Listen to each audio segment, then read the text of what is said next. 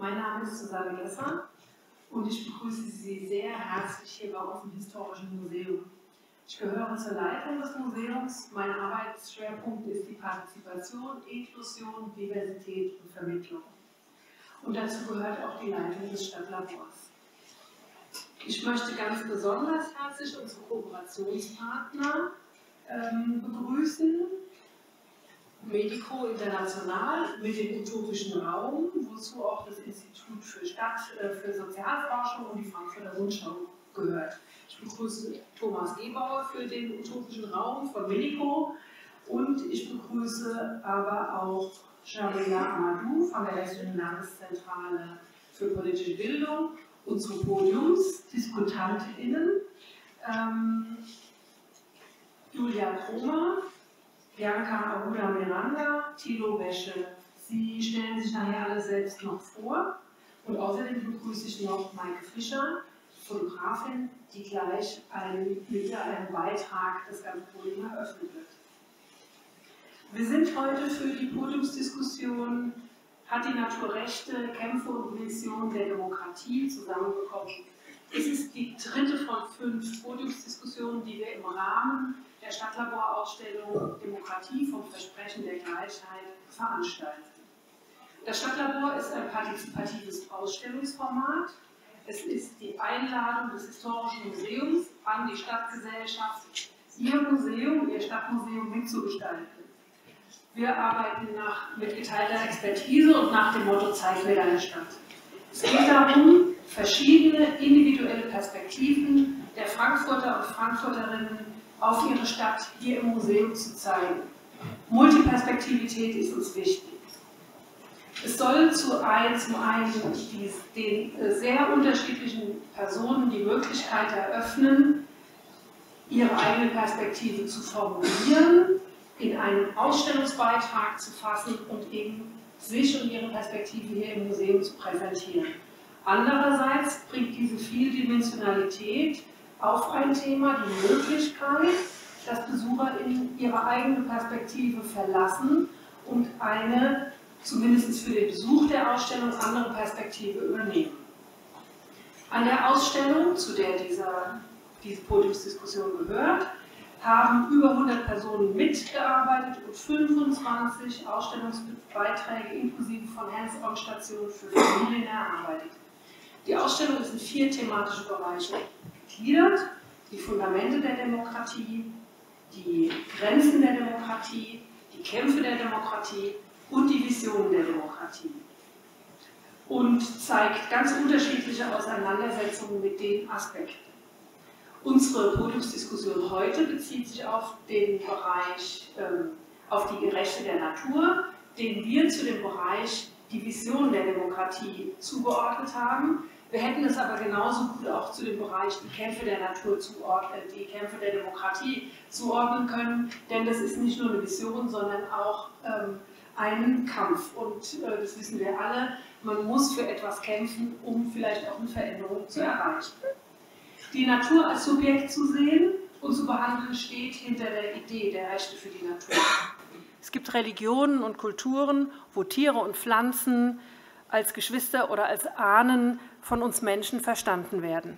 Sie werden als Individuen, als Subjekte betrachtet. Das ist bei uns in Zentraleuropa nicht so geläufig. Die Schriftstellerin und Lyrikerin Sumana Roy hat mit ihrem Buch Wie ich ein Baum wurde den literarischen Versuch unternommen, eine vollständig andere Perspektive als die der menschlichen einzunehmen und sich in das Sein eines Baumes hineinzuversetzen.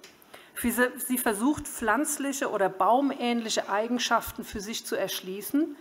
Dies eröffnet auch für uns als Leserinnen völlig andere Welten. Und vielleicht wäre es für alle, uns alle eine gute Übung zu versuchen, mal die Perspektive eines Baumes, einer Wegwarte, eines Hirschkäfers oder auch einer Manganknolle einzunehmen.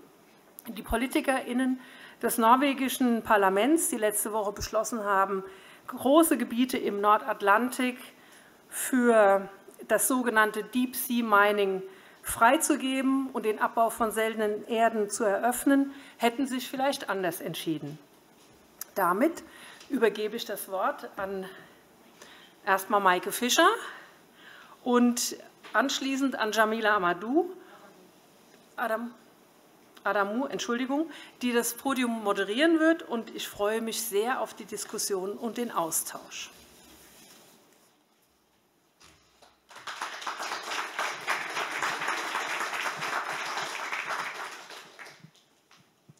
Ja, schönen guten Abend. Mein Name ist Maike Fischer. Ich bin Fotografin hier im Frankfurter Umfeld und arbeite vorwiegend im Bereich oder mit dem Schwerpunkt urbane Transformationsprozesse. Ähm, ich habe schon viele meiner Arbeiten im Historischen Museum gezeigt und für das Historische Museum gearbeitet. Im letzten Jahr, im Winter 2022-2023, hatte ich den Auftrag, die Besetzung im Fechenheimer Wald zu dokumentieren. Ähm, und dort habe ich ähm, eine kleine Fotoserie erstellt, mit der ich heute eine visuelle Einführung in das Thema des Abends geben möchte.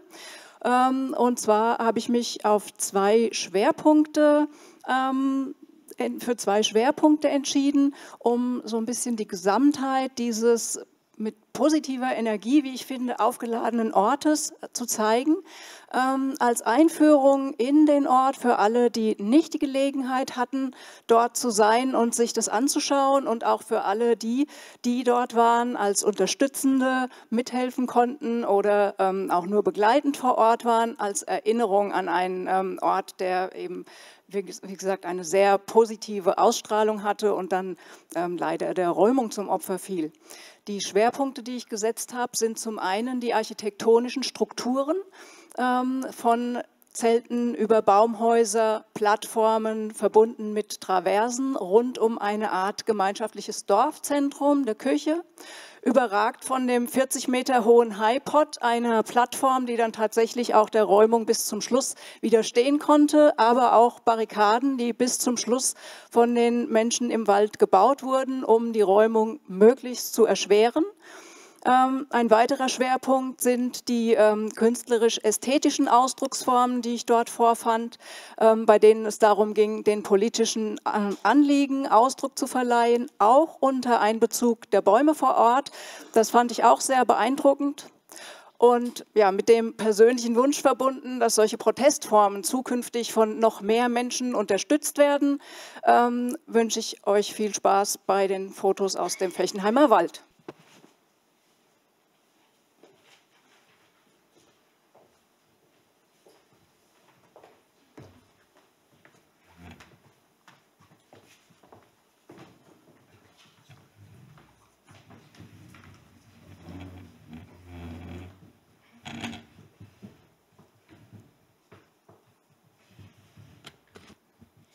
Ja, guten Abend auch von meiner Seite. Mein Name ist Jamila Adamu. Ich bin die Moderatorin am heutigen Abend, äh, arbeite für die Hessische Landeszentrale für politische Bildung und leite dort das Referat Gender Diversity, Migration, Integration und freue mich sehr, hier mit unseren ExpertInnen zusammenzusitzen. Wir haben im Vorhinein vereinbart, ähm, dass sich alle selbst vorstellen.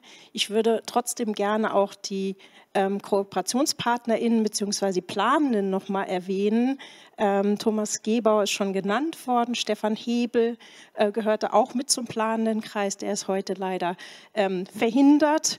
Und Angelina Schäfer vom Historischen Museum hat heute Urlaub, sonst würde sie auch hier sein und äh, hätte die Veranstaltung mit eröffnet. Vielen Dank an Susanne Gesser. Und genau, ähm, wir haben verschiedene Gesprächsrunden vorbereitet und beginnen jetzt mit der ähm, Vorstellung. Herr Thilo Wische, ich würde Sie bitten zu beginnen. Ja, schönen guten Abend.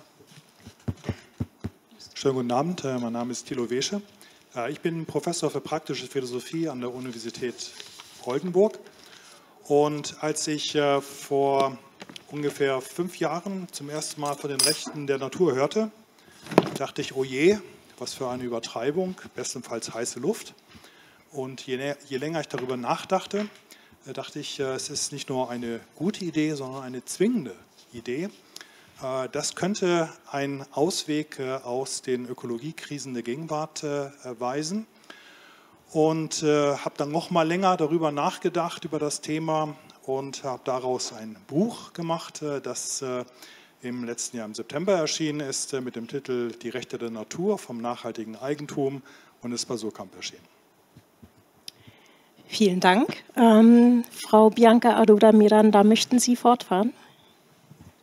Hallo? Ja, hallo.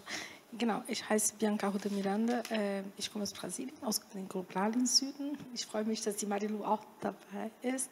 Die Marilu ist auch für die Ausstellung hier sozusagen, sie hat auch dazu beigebracht und auch jemand, der Bescheid weiß sozusagen. Ich finde es total schön, dass du da bist.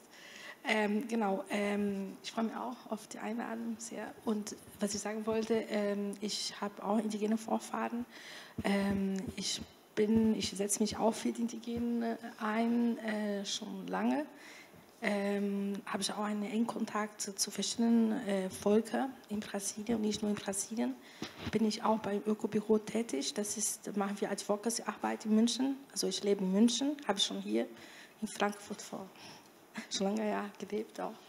Genau, und ich freue mich auf die Diskussion und vor allem auf die verschiedenen Perspektiven, die heute präsentiert werden. Vielen Dank. Ähm, Julia Kromer, möchten Sie sich jetzt vorstellen? Ja, sehr gerne.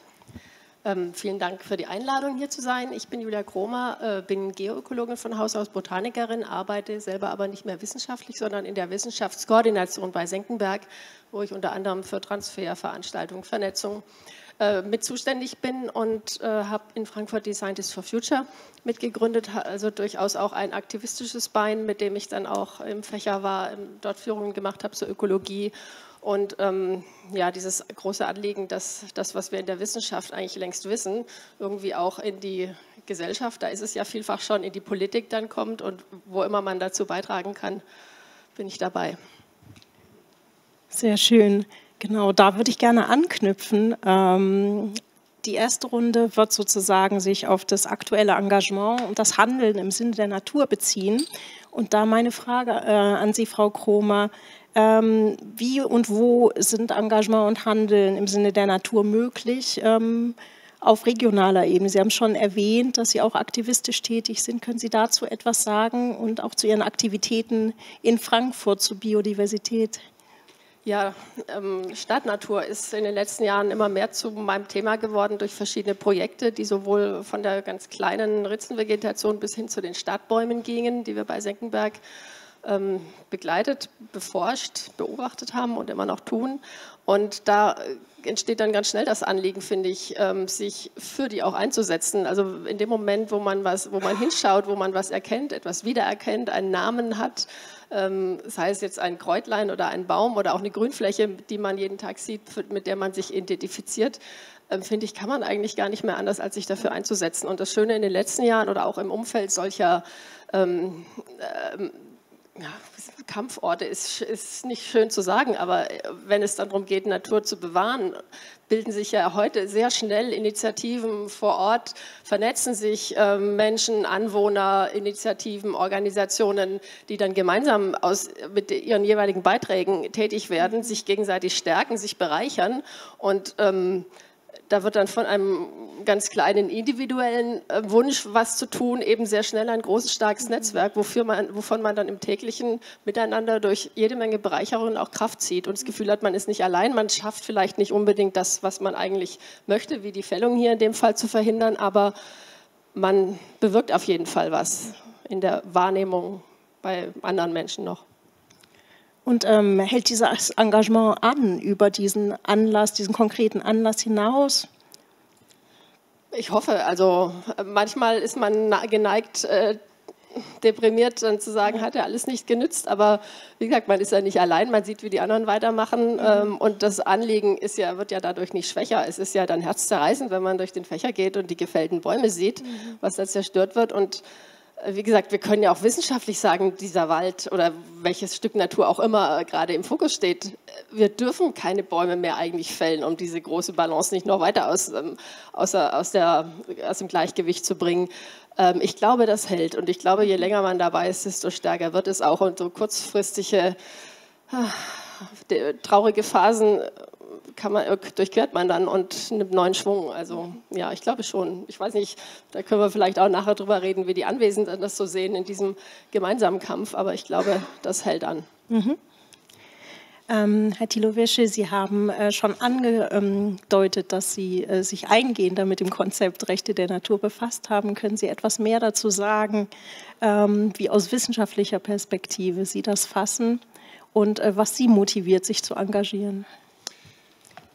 Ja, also äh, man muss sich vor Augen halten, dass es äh, gegenwärtig weltweit 200 Fälle von Rechten der Natur gibt also nicht nur Initiativen und Pläne, äh, sondern 200 Fälle von einklagbaren äh, Rechten, die auch durchgesetzt äh, werden können. Es begann alles vor 18 Jahren in einer kleinen Gemeinde in Ohio, den USA. Ähm, dort wurde einem Boden eigene Rechte verliehen. Diese Rechtspraxis hat sehr schnell Schule gemacht.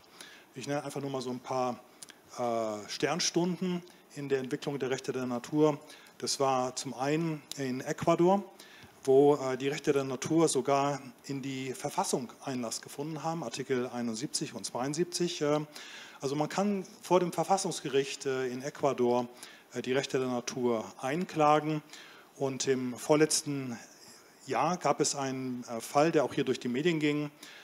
Es hat nämlich das Gericht entschieden, dass ein milliardenschwerer äh, internationaler Bergbaukonzern in einem Nebelwald äh, äh, über Nacht die Tätigkeiten einstellen musste, weil der Bergbau die Rechte dieses Nebelwaldes verletzte.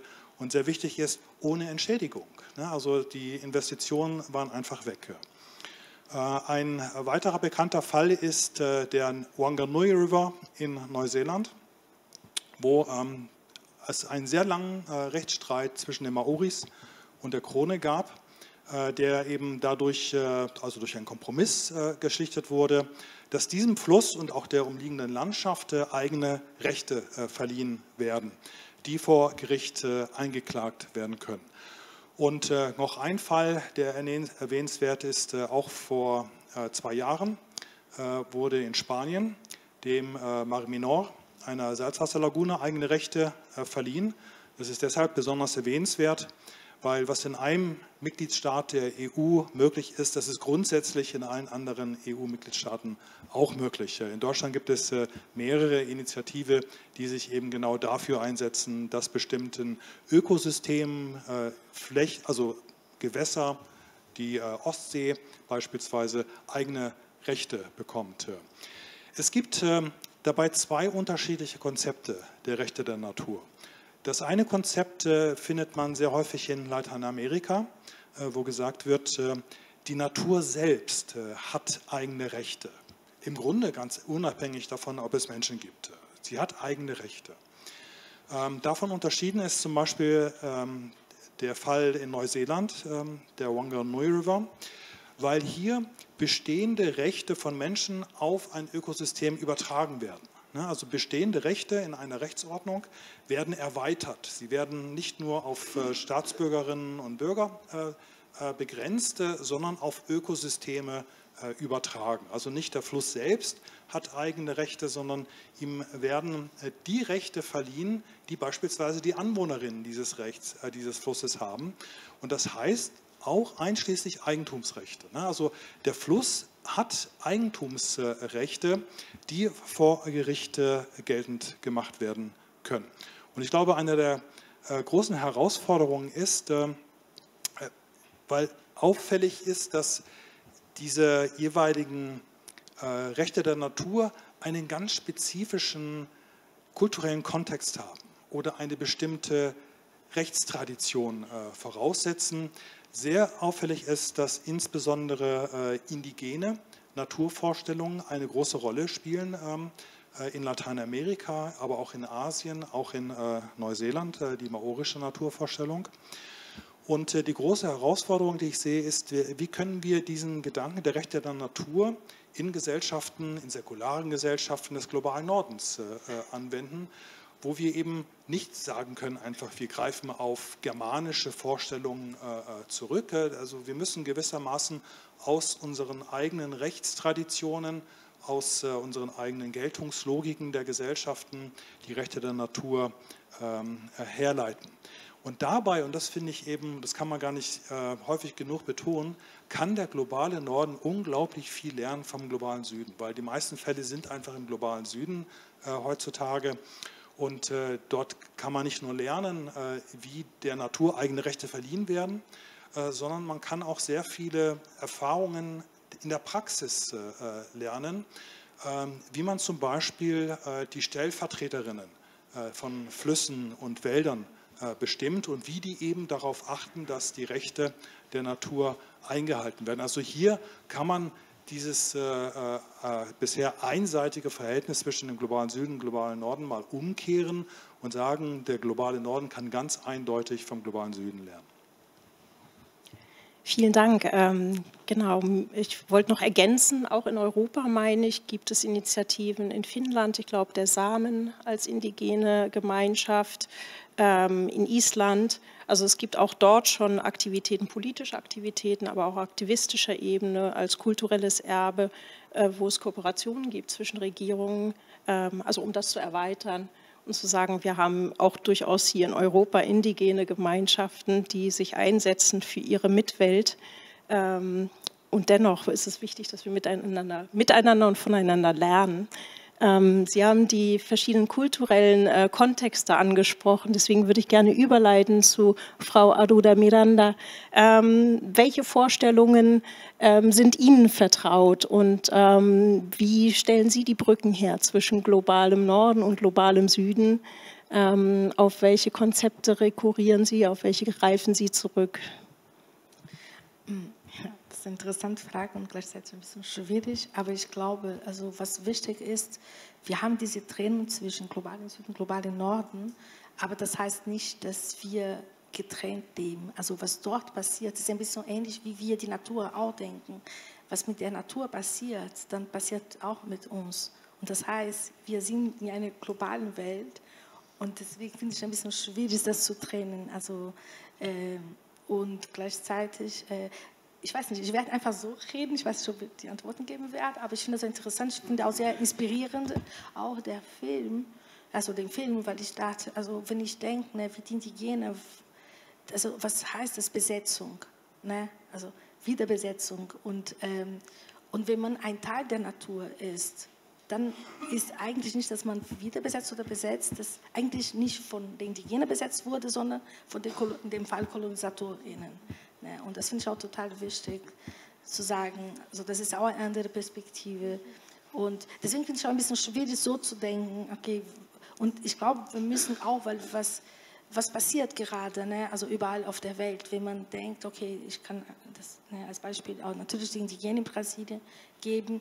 Gerade sind einige auch hier, Quilombolas, das ist die Afro-Diaspora auch äh, in Brasilien. Äh, und sie führen Gespräche hier mit der Regierung in Deutschland, weil die Deutsche Bahn versucht, also gerade hat dieses Projekt dort auch ähm, ein, das Gleis? Äh, ja genau, also aufzubauen. Und was eigentlich, das heißt, was hier passiert, dann hat auch eine Folge, also und, und das finde ich auch, deswegen sage ich nochmal, das ist sehr schwierig für mich, das zu trennen, also man kann das nicht getrennt denken.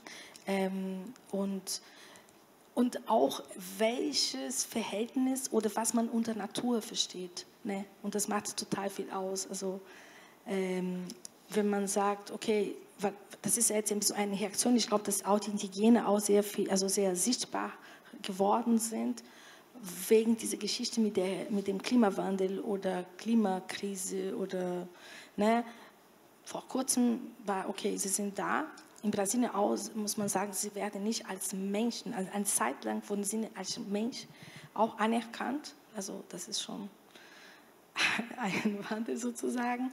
Und, ähm, und dann ist jetzt, dass sie einfach sichtbar werden, sagen, okay, wir sind für die Biodiversität sozusagen, wir retten, wir können die, die Welt retten. Und da habe ich auch mit einer gesprochen, Isabel Tucano. Ich habe gesagt, das ist auch sehr schwer. Also was jetzt gerade mit euch passiert, dass ihr sozusagen diese Großverantwortung also ihr tragt, muss das sein. Ne? Und das ist auch wie, ich glaube, das ist auch für sie wie eine Strategie zu sagen, hey, wir sind da und wir sind sehr wichtig. Ich weiß nicht, ob ich geantwortet habe, aber ich werde so reden. Ja, Sie wollen ergänzen? Ja, da fällt mir direkt dazu ein, wie ähm, in den wissenschaftlich-politischen Verhandlungen um Biodiversität, ähm, es gibt ja die, ähm, wie der Klimarat gibt es ja einen internationalen Biodiversitätsrat, wo zunehmend, wo eben weltweit verhandelt wird, was können wir zum Schutz der Biodiversität, zur Erhaltung der Ökosysteme tun, wo eben von an, ganz von Anfang an dezidiert alle Weltregionen vertreten sein mussten, also nicht nur der globale Norden, der ja das, die Wissenschaft dazu immer noch dominiert, sondern dass immer darauf geachtet wird, dass alle Perspektiven der verschiedenen Weltregionen einbezogen werden. Und es gibt immer auch extra Formate und überall begleitende ähm, Schienen, die eben Indigene aus aller Welt einbeziehen und deren Konzepte, deren ähm, Denkweisen, dass eben nicht diese wissenschaftlich etablierte Sichtweise da überall in diese Berichte und Ergebnisse eingeht, sondern dass immer das indigene Wissen mit einbezogen und aktiv auch gesucht wird dazu, weil eben die Erkenntnis auch in der Wissenschaft jetzt da ist, dass äh, der Großteil der globalen Biodiversität befindet sich eben in Regionen, die von indigenen Gemeinschaften ähm, bewohnt und genutzt und aber bewahrt werden und dass wir da ganz unglaublich viel lernen können und dass eben das nicht nur so ein, so ein Spruch bleibt, sondern dass das in der Praxis dieser politischen Aushandlungen, wie man basierend auf den wissenschaftlichen Erkenntnissen das voranbringen kann, das Thema eben einfließt, ganz, ganz systematisch und ganz immer, also bei allen äh, Formaten. Ja, ich glaube, ähm, laut UNO äh, werden 80 Prozent der Biodiversität, der Artenvielfalt durch indigene Gemeinschaften geschützt oder vertreten, was uns äh, zu der Frage bringt, ähm, ja, kann antworten, wer möchte dazu, zu sagen, ähm, wir haben ja sozusagen die Konkurrenzen von verschiedenen Rechten. Also wenn wir äh, uns die Debatte kritisch angucken, leben wir im Anthropozän mit ähm, Anthropozentrismus, also das heißt das Fokussiertsein auf die Rechte und Privilegien des Menschen und der Herrschaft über die Natur oder das Nutzen, auch Ausnutzen, Ausbeuten der Natur. Ähm, wenn wir jetzt sozusagen der Natur eigene Rechte einräumen und die Natur als Rechtssubjekt wahrnehmen, ähm, wer trägt dann die Verantwortung und welche Widersprüche entstehen auch, äh, was Interessen angeht? Wir leben in einem globalen Kapitalismus. Ähm, wie vereinbaren wir die verschiedenen Ebenen von Rechten, die verschiedenen Interessen? Ja, ich versuche mal eine Antwort. Äh, also ähm, man muss sich erstmal im Klaren werden, was heißt eigentlich, dass äh, die Natur eigene Rechte hat? Was heißt es, dass ein Ökosystem Rechte hat? Ein Fluss, ein Wald, eine Landschaft? Äh, und ähm, erst einmal ist klar, hier ist die Natur ein Rechtssubjekt, nicht mehr nur ein Objekt, über das Rechte ausgeübt wird, sondern ein Subjekt, das eigene Rechte trägt. Die, ein Wald, äh, ein Fluss ist äh, Trägerin äh, eigener Rechte.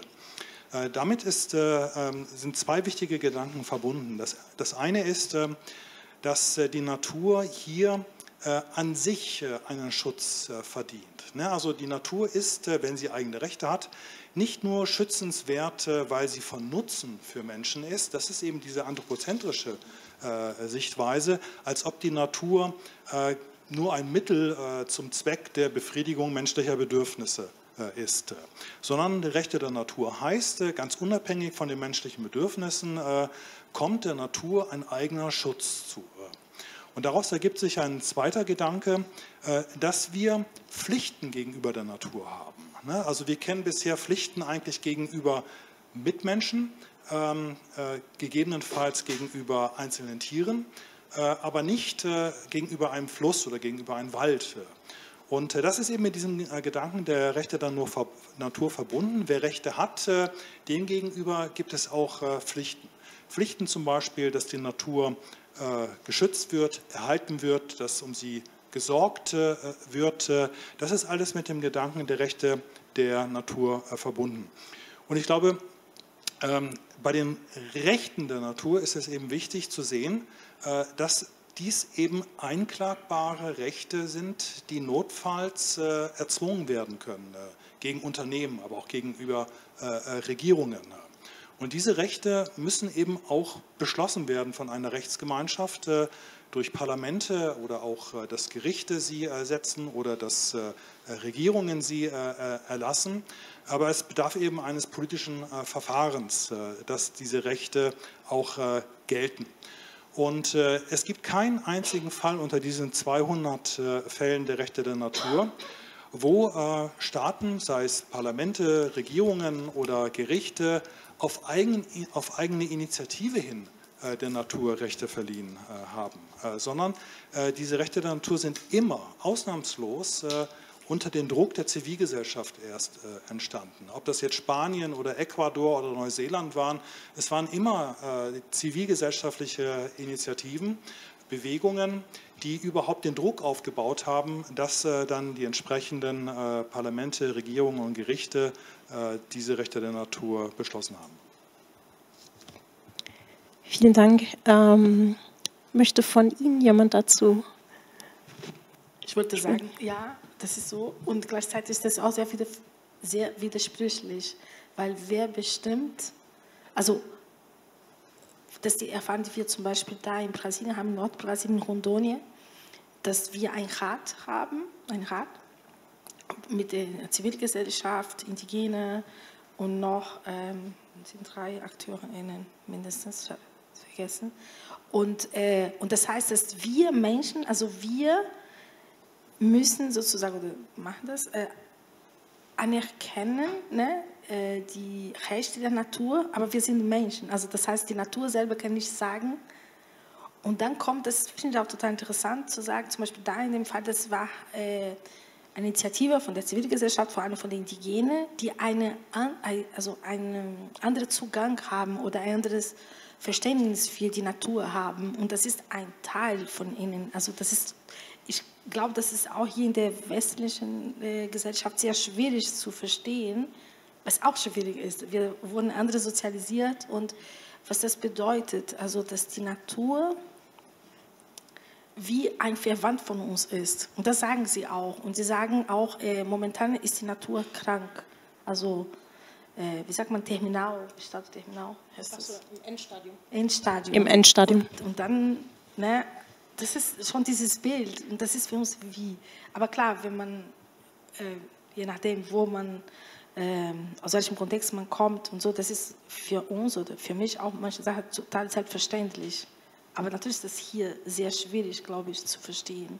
Und gleichzeitig, wer bestimmt diese Rechte? Das sind die Menschen. Und welche Menschen? Das ist, wer hat die Legitimität dafür, die Legitimation dafür? Ne?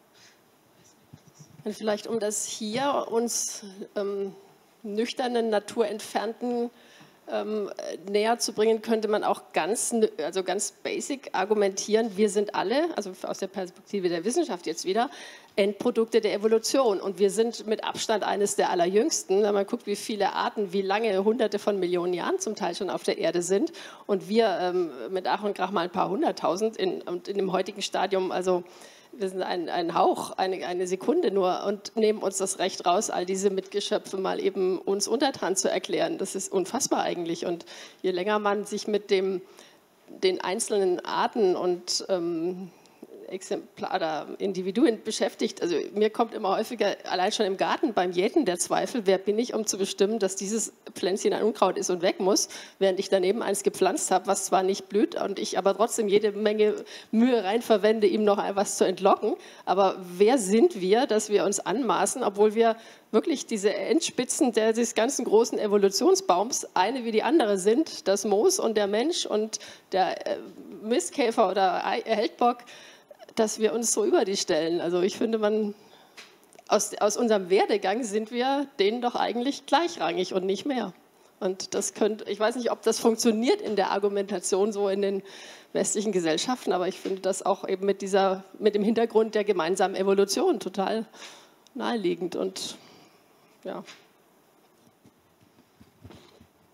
Ähm, mir fiel dazu ein, ähm, um vielleicht etwas ein bisschen plastischer zu machen. Ich habe äh, in der Vorbereitung auf die Moderation ähm, Beiträge gesehen von indigenen Gemeinschaften in den USA. Ähm, eine Gemeinschaft, die sehr eng mit Schafen zusammenlebt und ähm, die diese Schafe auch als Teil ihrer Ahnen wahrnimmt ähm, da einen gewissen Reinkarnationsglauben auch hat. Und sozusagen die Verbindung ist so innig, dass sozusagen ähm, Menschen und Schafe so eng zusammengelebt haben, dass sozusagen die Biome sich vermischt haben. Also das heißt wirklich äh, die integralen äh, sozusagen Bakterien innerhalb der Menschen ähm, sind sozusagen verbunden mit den Schafen und diese Gemeinschaften werden krank, wenn sie nicht mit, mit, ihren, ähm, mit ihren Ahnen, Ahnen zusammenleben. Und ähm, in, in Europa oder im westlichen globalen Norden ähm, setzt sich das mehr und mehr durch, dass wir so etwas wie ein zweites Gehirn haben und sozusagen die Darmflora ein enormes, äh, eine enorme Wichtigkeit hat neben dem kognitiven äh, Gehirn. Aber ich das, äh, fand das sehr eindrücklich, diese Erläuterungen zu erleben und zu sagen, das macht uns krank, wenn wir nicht mit unserer Familie, mit denen, mit denen wir sozusagen sonst umgeben sind, äh, zusammenleben. Also als, als kurzer Zwischen, äh, Zwischenschritt vielleicht, als Verbindung. Ähm, Genau, womit wir auch bei den Verbindungen wären. Ähm, uns und auch den utopischen Raum interessiert, wie wir ähm, solidarisches Handeln ermöglichen, neben all, also in all dieser Pluralität von Lebenswelten, Lebensweisen, aber auch Sichtweisen. Ähm, ja, wie kann die Übertragung auch zwischen verschiedenen Disziplinen aussehen, zwischen Wissenschaft, Zivilgesellschaft, äh, Politik, indigenen Gemeinschaften? Ähm, welche Vorstellungen, welche Impulse haben Sie? Da Sie mich anschauen, äh, versuche ich äh, eine Antwort. Äh, also zum einen finde ich, äh, wir sollten alle an einem Strang ziehen. Äh, also unser Ziel sind Rechte der Natur ähm, und niemand sollte ein Keil zwischen uns treiben, auch wenn wir unterschiedliche Ansichten haben über die Rechte der Natur. Das ist ein gemeinsames Ziel, aus dem man sich aus verschiedenen Richtungen zubewegen kann. Und äh, innerhalb der Bewegung der Rechte der Natur gibt es eben schon einen großen Unterschied, ähm, äh, den ich vorhin ansprach, dass äh, die eine Auffassung sagte, die Natur hat Rechte ganz unabhängig von Menschen. Ne? Sie hat einfach Rechte. Ähm, das ist in Lateinamerika weit verbreitet. Aber ähm, der Fall in Neuseeland ist ein anderer und auch in den USA, die viele Fälle, die es in den USA gibt, auf der Ebene der Communities, also auf einer lokalen Ebene, äh, da werden Rechte, die Menschen haben, auf die Natur übertragen. Das ist ein ganz anderer Fall. Aber es ist das gleiche Ziel. Äh, Ökosysteme bekommen eigene Rechte. Ähm, ähm, ich vertrete eher die äh, zweite Sichtweise, zu sagen, dass der Natur Rechte übertragen werden, die wir kennen. Zum Beispiel Eigentumsrechte oder Vertretungsrechte vor Gerichten. Ähm, und ich würde sagen, Ganz wichtig ist mit den Rechten der Natur, dass es da immer auch um die Stiftung eines äh, alternativen Naturverhältnisses geht. Es geht auch darum, dass wir lernen, äh, ein nicht extraktives äh, Verhältnis zur Natur zu gewinnen. Und dafür sind die Rechte der Natur vor allem da. Aber ich sage mal, worin die Schwierigkeit auch besteht. Ähm, wenn wir nämlich sagen, es gibt ein nicht extraktives Verhältnis zur Natur und äh, die Natur ist auf Augenhöhe mit Menschen. Äh, sie hat die gleichen Rechte äh, wie die Menschen auch. Dann wird eine Augenhöhe, gleiche Augenhöhe hergestellt. Ähm, dann muss man genau schauen, was mit dieser Gleichheit eigentlich gemeint ist. Und also diese Tradition der Rechte der Natur in Neuseeland, wo man sagt, der Natur werden die Rechte der Menschen auf die Ökosysteme übertragen, sagen ja, äh, es gibt eine Gleichheit und es gibt auch eine Einheit zwischen Natur und Mensch. Und diese Einheit besteht in der gemeinsamen Rechtsgemeinschaft, weil die Natur, weil ein Wald, weil äh, Flüsse äh, die gleichen Mitglieder sind äh, in einer Rechtsgemeinschaft äh, wie Bürgerinnen und Bürger, äh, besteht eine Gleichheit zwischen ihnen. Und deswegen können Menschen eben auch nicht über die Natur frei verfügen in Form eines Eigentumsrechts äh, zum Beispiel. Genauso wenig wie Bürgerinnen äh, über sich gegenseitig als, äh, Eigentum, als Eigentümerinnen äh, verfügen äh, können.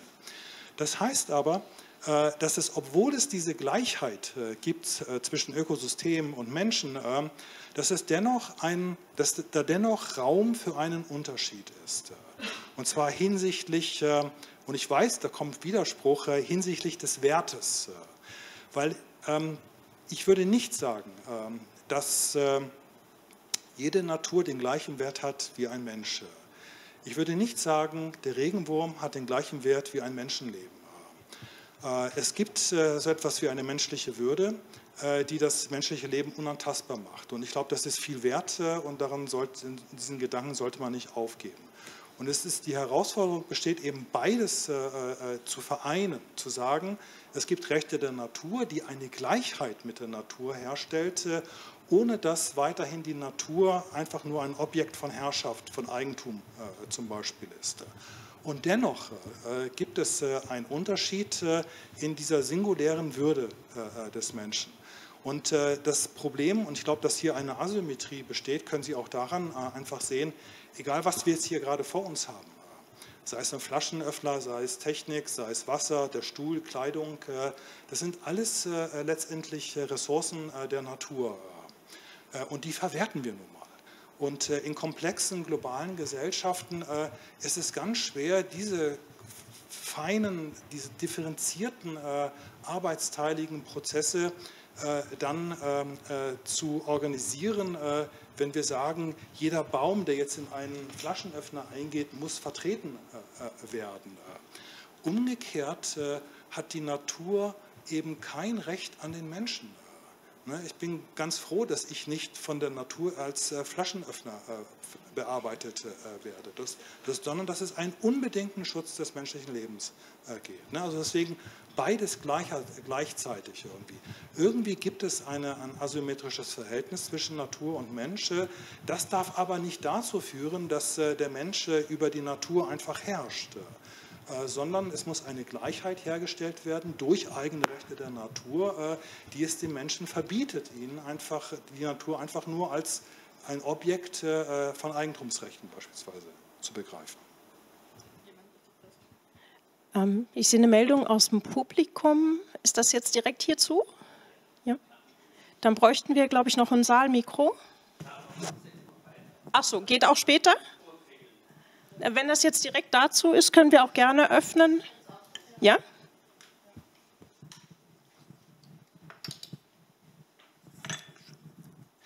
Äh, mein Name ist Georg Horndrich, Studienleiter für Wirtschaft und Finanzen hier in der Nachbarschaft im Haus in der Katholischen Akademie. Und äh, schon seit einiger Zeit beschäftige ich mich mit diesem Buch äh, Jens Kersten, das ökologische Grundgesetz müssen jetzt nicht alle gleich gelesen haben, aber er argumentiert ganz anders. Als wir als sozusagen Erben der europäischen Aufklärung haben eben genau dieses Verhältnis zur Natur so nicht. Wir müssten, und das in unseren Umweltschutzgesetzen ist es immer nur argumentiert als Grundlage für uns. Und das empfindet er als sehr schwach für, die, für den Schutz der Natur oder die Rechte der Natur und sagt dann, also wir, wir nutzen das Recht, um mandatorisch für die Natur sozusagen eintreten zu können, weil das die bessere Argumentation ist, die der Natur Eigenrechte zu geben. Und das ist eine andere Argumentation als die, äh, die die Indigenen lange in, vielen äh, Orten der Welt bewahrt haben. Das, was wir durch unsere europäische Aufklärung verloren haben. Insofern äh, ist das auch ein utopischer Versuch, dass äh, unser Grundgesetz äh, so zu durchforsten, dass daraus ein ökologisches Grundgesetz wird.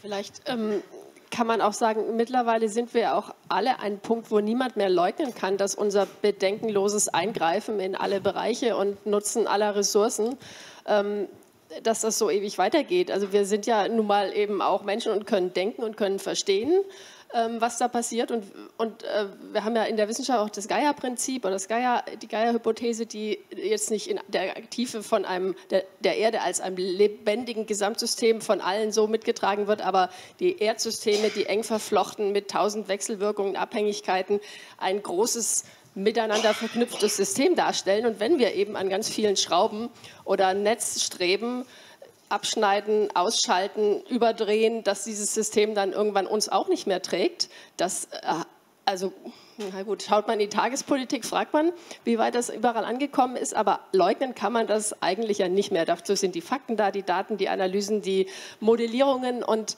ähm, das nicht basierend auf dieser globalen Erkenntnis endlich äh, das sich durchsetzt, dass wir der Natur, wenn schon nicht um ihrer Selbstwillen und ihrer Rechte, diese Rechte des Fortbestehens zugestehen, sondern äh, dass sie uns dann auch nicht mehr tragen kann. Ähm, äh, da sind wir wieder beim anthropozentrischen Ansatz, aber ähm, letztendlich fallen wir dahinter ja auch runter, wenn wir der Natur nicht ihre Rechte geben. Dann gibt es auch kein weiter so für uns mehr. Also es muss ein Miteinander sein, damit wir bestehen können. Und diese Gleichheit müssen wir irgendwie wieder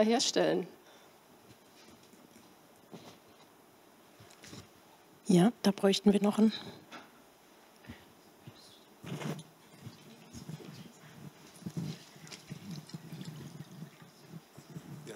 Michael Götze, das ist eigentlich nur eine kurze Frage. Also ich habe Ihre Anmerkung sehr gut verstanden, dass Sie sagen, die Natur kann sich ja selber nicht ausdrücken. Ja? Und mich würde jetzt mal interessieren, zum Beispiel, wie ist denn das mit dem Fluss da in Neuseeland? Ja? Sagen Sie doch mal, was sind denn die Rechte von dem? Was hat man denn da formuliert? Ich würde das gerne mal wissen.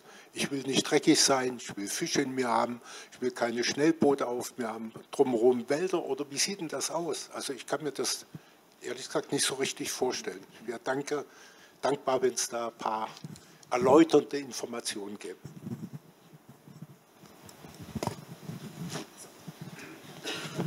Ja, ich habe das jetzt nicht alles im Kopf, aber das war zum Beispiel auch der Fall. Äh, ich gebe jetzt äh, Brasilien als Beispiel, da im Nord, Nord Brasilien genau.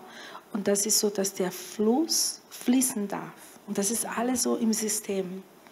Und ähm, ich kann das selber lesen, also ich, jetzt habe ich nicht hier, aber das ist so, wie das bestimmt wurde auch. Ähm, und ja, ich kann das auch, wenn kann ich jetzt suchen, wenn niemand weiß, dann habe ich das. Äh, ja. Vielleicht darf ich daran anschließen. Also ähm, in ähm, Neuseeland beim Wanganui River ist das der Fall, dass ähm, äh, der äh, Fluss die gleichen Rechte hat wie die Anwohnerinnen zum Beispiel. Und äh, deshalb dürfen die Anwohnerinnen und andere auch, Neuseeländerinnen, auch Touristen, diesen Fluss nutzen. Also, dass die Natur eigene Rechte hat, heißt nicht, dass Menschen von der Nutzung der Natur ausgeschlossen sind. Der Punkt ist aber, dass Menschen diesen Fluss nur nutzen dürfen unter den Bedingungen der Nachhaltigkeit. Äh, das heißt, äh, der Fluss muss erhalten bleiben. Er muss erhalten bleiben äh, im ursprünglichen Flussbett. Er muss erhalten werden, was die Wasserqualität betrifft. Er muss erhalten werden, was die angrenzenden Uferpflanzen betrifft. Er muss erhalten werden, was den Sand betrifft. Das heißt nicht, dass man sozusagen auch Sand von dem Fluss abbauen darf, aber eben nur in einem sehr beschränkten Maße einfach, dass eben das Ökosystem nicht gefährdet ist. Also es ist sowohl Nutzung äh, als auch äh, eine Nachhaltigkeit, die auf, das, auf den Erhalt des jeweiligen Ökosystems zielt. Als du gefragt hast, wie man sich vorstellen kann, ne, also was man machen kann, da habe ich an den Lieferkettengesetz hier, vor allem jetzt in Deutschland in dem Fall, gedacht. Also ich glaube, das Ziel ist vor allem, dass die Menschenrechte auch respektiert werden. Und, aber man hat nichts über die Natur in dem Sinn. Das ist immer so, wie die Natur benutzt, ausgebeutet wird, aber immer in Bezug also auf äh, den Menschen. Also das ist schon etwas anderes. Und ich glaube, das wäre total wichtig. Das wäre ein, ein wichtiges Instrument auch für die Natur. Und nicht zu so sagen, oh, wir schützen oder wir sind davon betroffen. Ne? Ähm, auch was Sie gesagt haben, wegen Extraktivismus. Ne, diese, und, und ich glaube, aber das ist immer so, wer kann das sagen? Und das ist vor allem die, die davon, also direkt betroffen sind, ne, die keine Stimme haben. Ähm, und das ist auch, deswegen ist auch, also ich würde sagen, hier, Sie können sich darüber informieren, was das heißt, hier dieses Lieferkettegesetz in Deutschland und auch äh, hier in Europa. Äh, das war auch ein Kampf, also das war wirklich ein Kampf und man ist immer noch nicht damit zufrieden. Und auch, was ich auch interessant finde, wenn man auch über die Rechte der Natur redet. Das heißt nicht, weil auch wenn wir diese Rechte haben, dass sie angehalten werden, weil also wir haben auch die Menschenrechte und wie viele MenschenrechtlerInnen bedroht werden und einfach ähm, ja, alles mögliche, also getötet werden, ne, umgebracht werden. Das heißt, sie sind da, man hat dieses Instrument, aber das ist keine Garantie auch. Aber das ist auch wichtig trotzdem zu haben, würde ich sagen. Ja.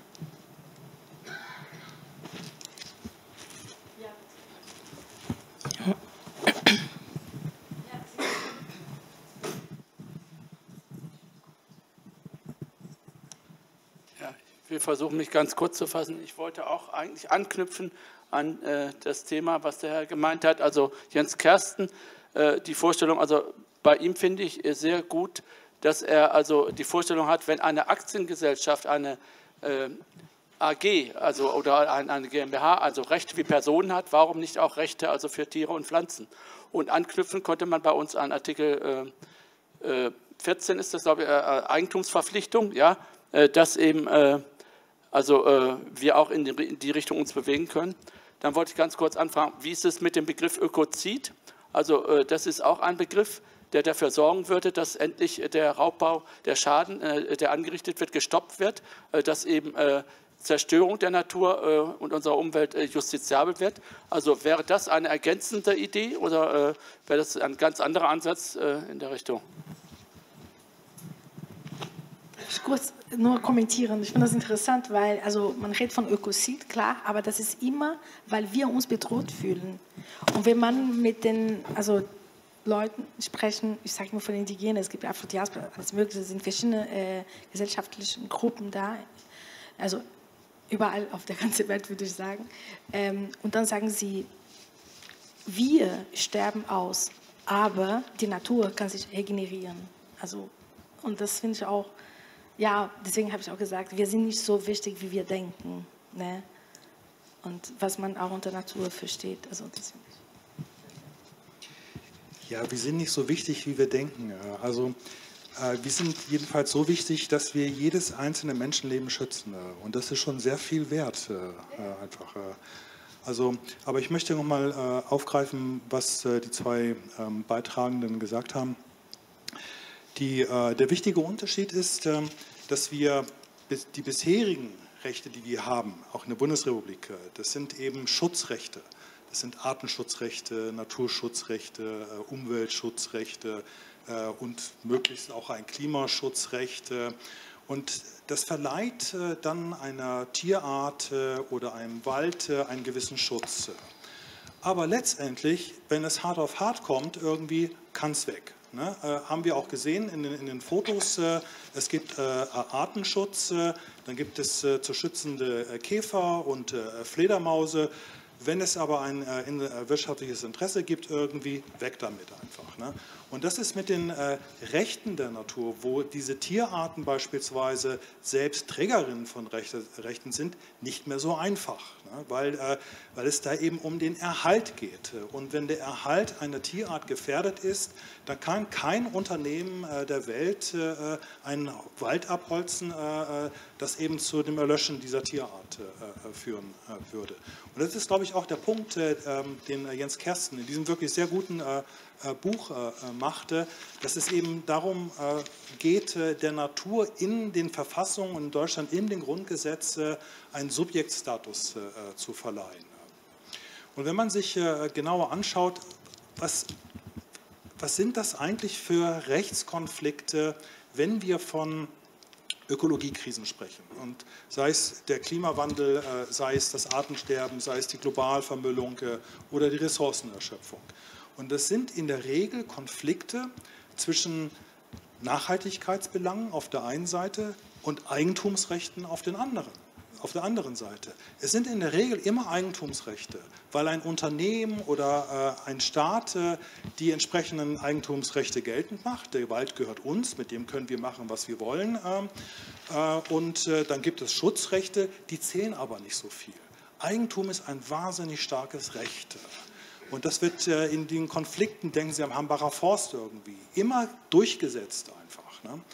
So, und jetzt kann man sagen, ähm, ähm, wenn der Eigentumsschutz so viel stärker ist äh, als die Schutzrechte, Klimaschutzrechte, Artenschutzrechte, Naturschutzrechte, Umweltschutzrechte, dann liegt es doch nahe, dass wir uns diesen starken Eigentumsschutz zunutze machen für eine ökologische Nachhaltigkeit. Verleihen wir doch äh, der Natur eigene Eigentumsrechte. Und wenn ein Unternehmen dann einen äh, Wald abholzen will, in Berufung auf die eigenen Eigentumsrechte, kann man sagen, nee, nee, äh, das, ist eine, das wäre eine Eigentumsverletzung und es geht ein sehr starker Eigentumsschutz, der es in diesem Fall verbietet, diesen Wald abzuholzen. Ich habe zwei Meldungen gesehen im Publikum, da hinten links und genau, und dann nochmal der Herr.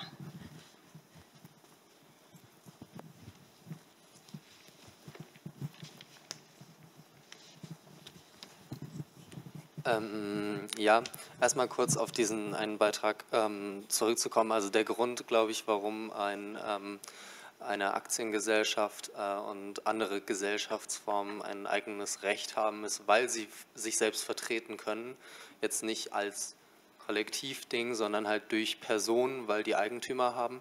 Ich glaube, da ist so ein bisschen das Problem in diesem Vergleich. Aber meine Frage wäre eigentlich, also wenn Sie sagen, man soll diese subjektiven Rechte für die Natur einführen, dass es im Grunde ein Eigentumsrecht bzw. halt so ein Schutzrecht äh, von sich selbst ist. Ähm, inwiefern verändert das wirklich den Rechtsstatus? Weil derzeit ist es ja so, dass es diese Schutzrechte gibt und die sind, würde ich auch sagen, eigentlich in unserer, also in unserer Rechtsform zumindest relativ stark.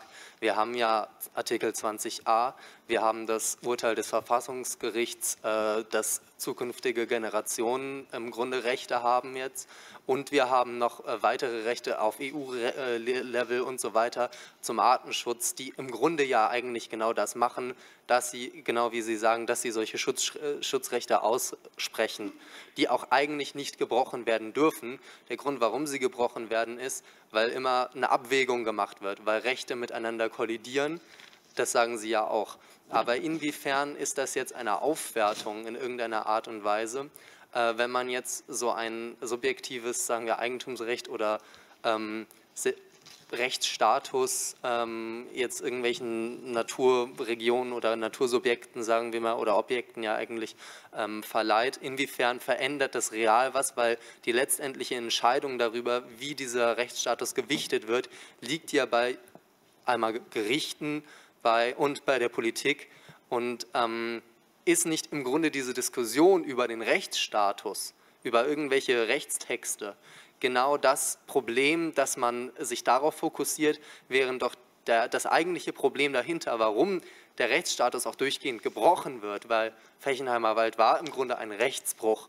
Ähm, auch Lützerath oder Hambacher äh, Forst waren im Grunde Rechtsbrüche.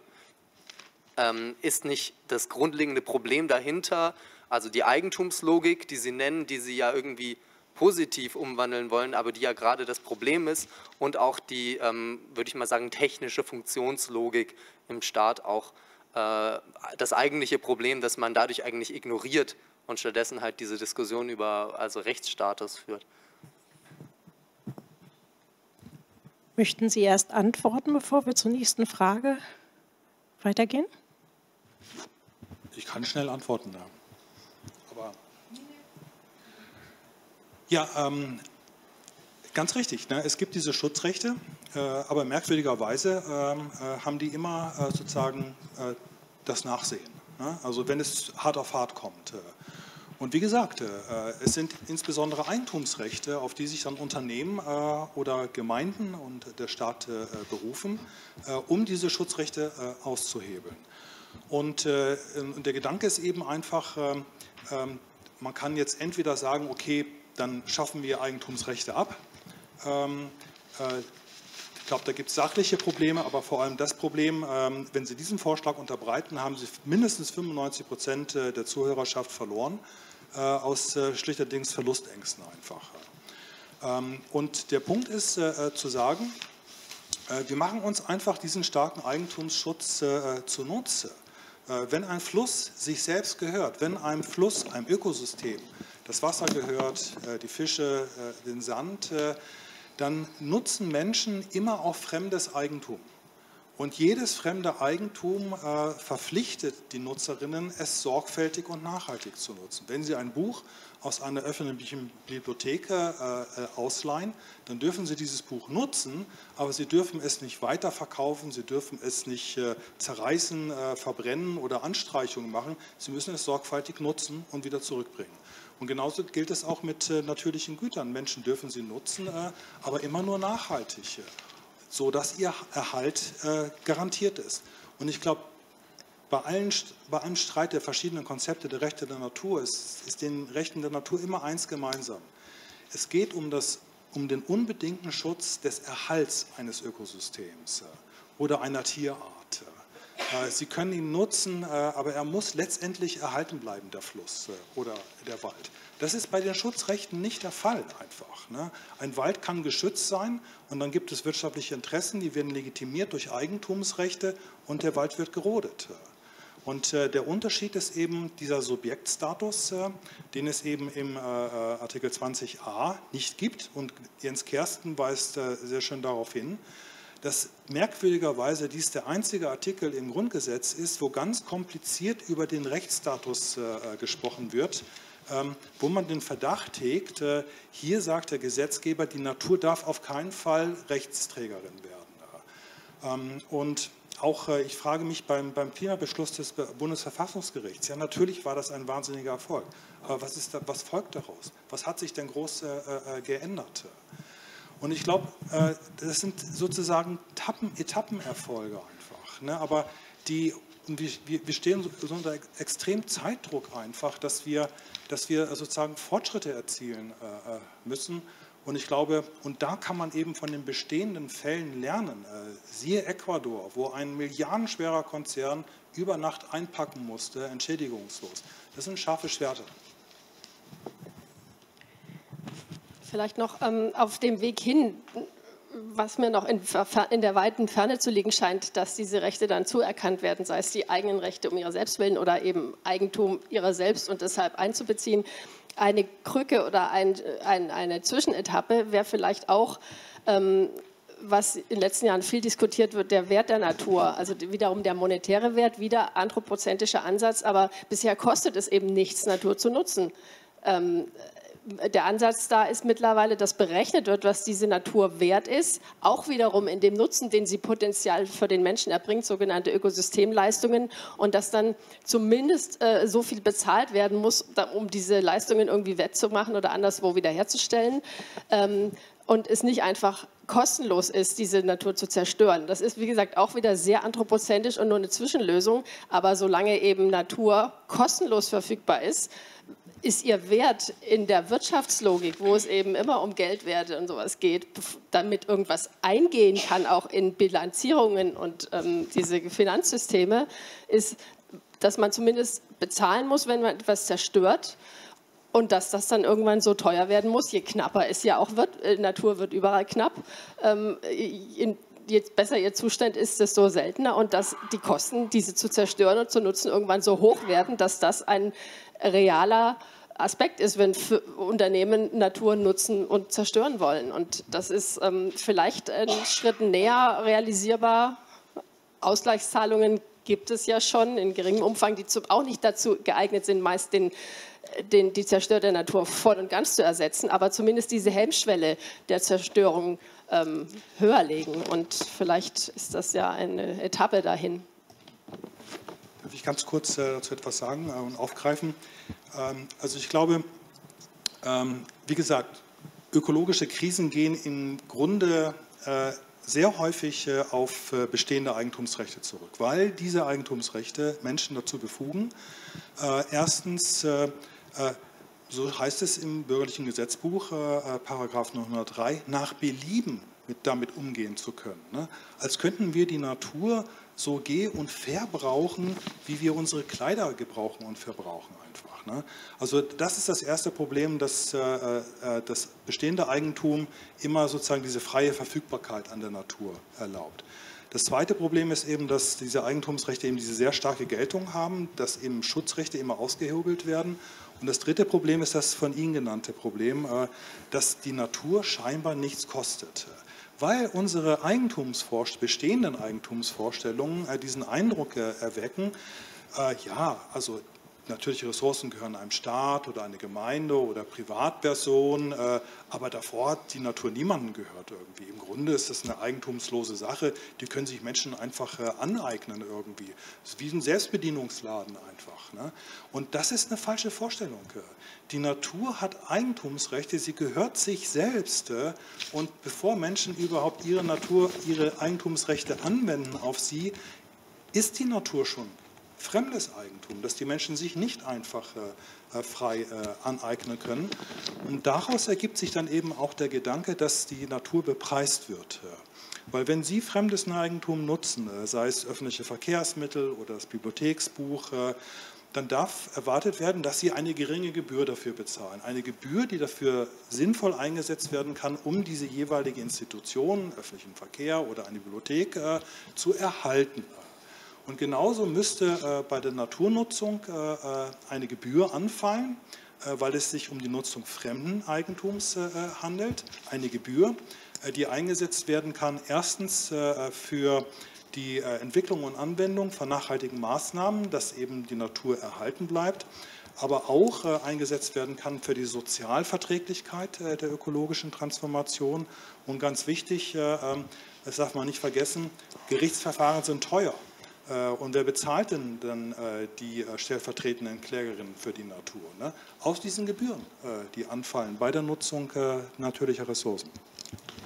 Ich möchte gerne etwas sagen, weil ich glaube, dass, also ich habe gerade an diesen Kompensationspolitik oder was man heutzutage hat. Das heißt, man kompensiert, man macht das weiter, man ausbeutet, also man beutet aus und dann und wer dafür zahlt. Und das ist, also das ist wirklich die Praxis momentan, dass diese Unternehmen, die wirklich sehr viel Geld haben, die können bestimmen, sie machen das, okay, und gleichzeitig kann ich zum Beispiel auch ein Projekt im globalen Süden äh, finanzieren.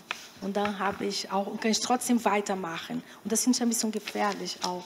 Also ich glaube, man muss auch äh, erstens, wer ist in der Lage überhaupt das Ganze zu finanzieren. Also und das auch, ich glaube, das hat auch viel damit zu tun, was man unter Natur versteht. Und wie Sie gerade präsentiert haben, ist das so für mich mindestens so wie eine Trennung der Menschen und die Natur. Und das muss nicht unbedingt so sein.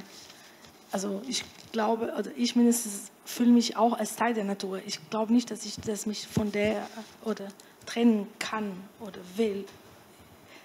Also ich finde das ein bisschen schwierig. Ich finde es auch, das muss man auch in Frage stellen, was das bedeutet heutzutage. Dass normalerweise dafür zahlt sich das globale Süd, obwohl wir weniger diese ganze Verschmutzung und alles möglich verursachen und trotzdem, ne, also Genau, ähm, ich, ich, wollte einen kurzen Zwischenkommentar machen, äh, um sozusagen Ihr Argument nochmal aufzugreifen, zu sagen, wenn wir von Eigentumsrechten sprechen und Nutzung oder Zahlen für die Nutzung der Natur, dann sind wir auch in Debatten rund um Postkolonialismus und Kolonialismus zu sagen, wer trägt die Verantwortung auch für vergangene Verbrechen, für Ausbeutung der Natur, also wie soll das dann eingepreist werden?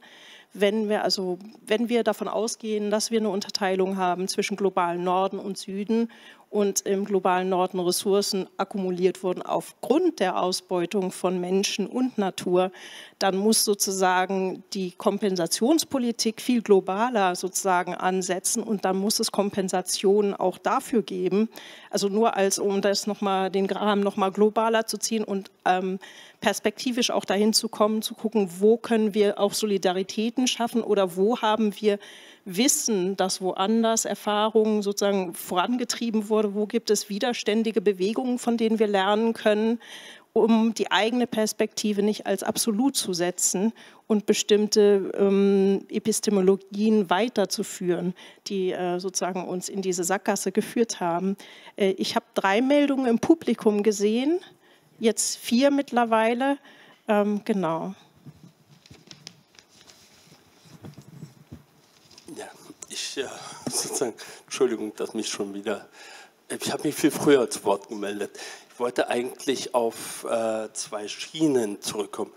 Also wir sollten einfach diese, diese Tradition der Indigenen wertschätzen und dann, dass wir in, in einer ganz anderen historischen und kulturellen Situation unsere ja, zu Ende gehende Zivilisation sozusagen, äh,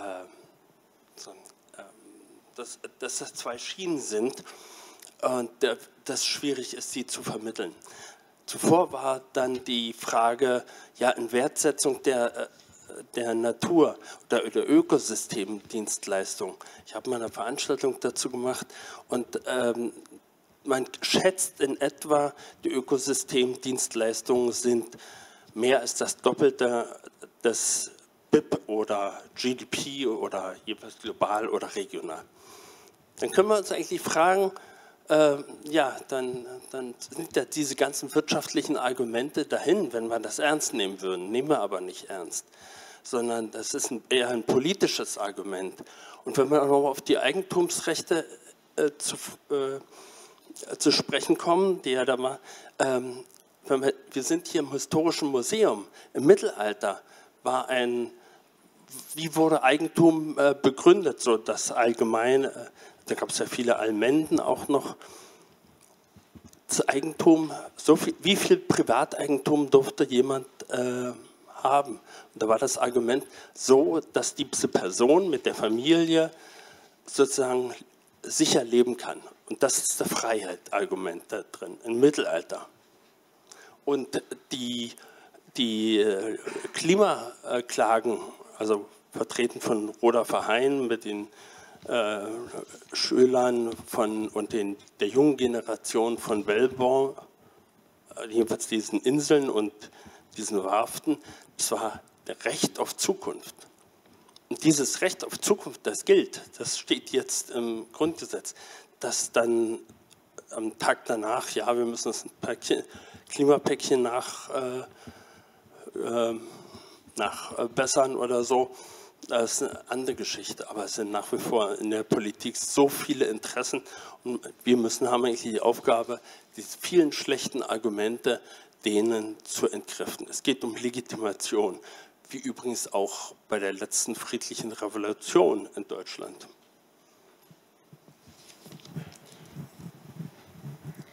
Genau, ähm, also es ging jetzt eigentlich nur um diese monetäre Idee oder diese Argumentation.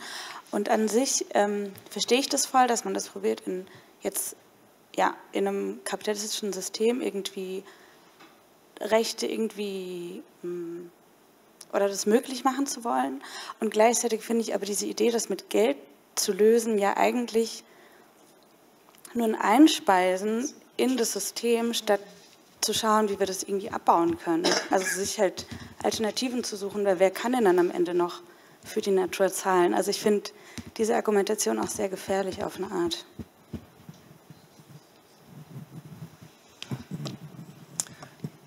Ja, ich habe auch noch eine Frage an Sie alle. Auf der einen Seite, also für mich ist, die, als ich das zum ersten Mal gehört habe, Recht der Natur, also Natur zum Subjekt zu erklären, äh, hat mich das erstmal sehr, sehr, sehr angesprochen. Ich begreife es als Vehikel oder als Schwert in einem politischen Kampf zur Durchsetzung äh, von, zur Erhaltung von ökologischen Systemen. Und ich wünsche mir natürlich, dass es ein scharfes äh, Schwert ist. Aber was ich mich frage, trägt das nicht noch weiter zu dieser Trennungswahrnehmung bei? Also hier die Natur, da die Umwelt, hier der Mensch. Also ähm, statt mit allen Kräften daran zu arbeiten, dass wir uns als Teil von Natur und damit auch, dass jeder Tod eines Käfers praktisch, da geht es um unser aller äh, Lebensgrundlagen, also äh, an diesen Begrifflichkeiten auch zu arbeiten. Umweltschutz, ist es wirklich Umweltschutz oder geht es da um Schutz von allem, äh, was hier lebt, ähm, genauso wie Naturschutz? Äh, also das ist ist das nicht auch etwas, was weiterhin diese Trennung auch im Bewusstsein, ähm, im Begreifen aufrechterhält? Ähm, also, ja. Frage. So, dazu anschließend so ein bisschen.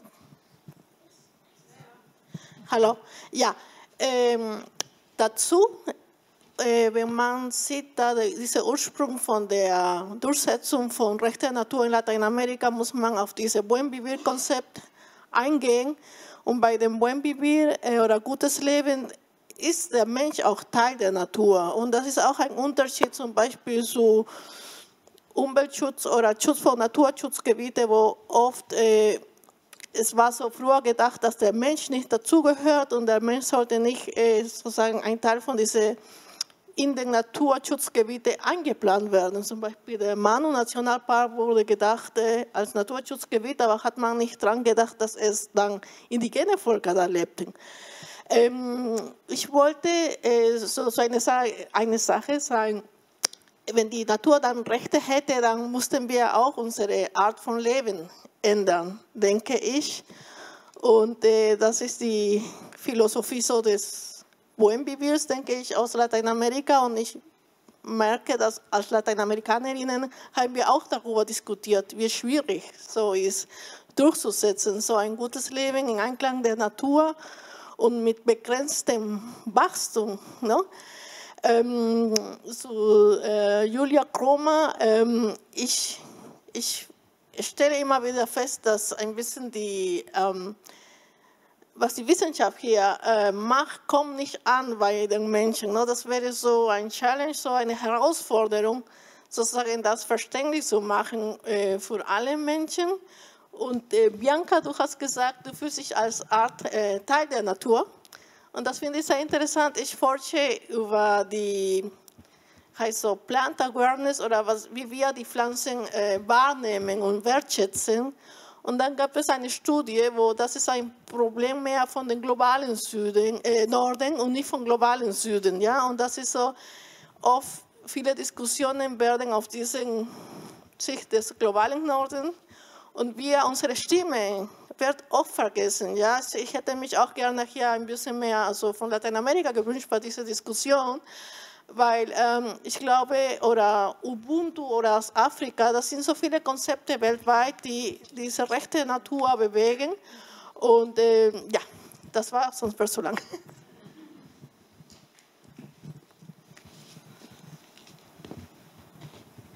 Ja, vielleicht äh, auf die Anregung hin, die Stimme der Wissenschaft, ähm, ob, ob, sie denn wirklich die Lösung hat oder nicht, äh, sei dahingestellt, oder welche die richtige Lösung ist, Bepreisung der Natur als Krücke, als Zwischenlösung oder so. Aber ja, genau das, also die, wir sitzen ratlos. Ich meine, ich mache auch seit 15 Jahren solche Veranstaltungen. Wie retten wir die Biodiversität? Wir wissen alles. Warum handeln wir nicht? Wie überwinden wir diese Kluft? Ähm, einerseits zu verstehen, es muss dringend äh, was passieren, die Zeit läuft ab und die andere, aber keiner will sein Leben, also die Breite der Gesellschaft will das Leben eher nicht ändern, sondern so weitermachen wie bisher.